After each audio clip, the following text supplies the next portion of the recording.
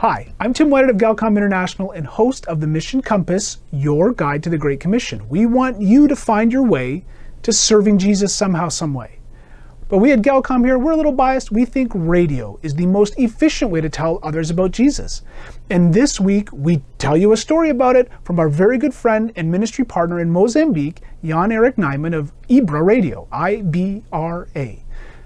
He has a great story of visiting radio listening clubs, people coming from Muslim background hearing about Jesus, the truth perhaps for the first time in their life. They can't get enough of it. He's going to tell you what happens when people start hearing about Jesus' love and grace and forgiveness, sacrificial death, the whole thing every day by radio in their heart language and listening to the Bible in their heart language for themselves for the first time radio is the most efficient way for just a few workers to tell a huge audience spread over a big area about Jesus.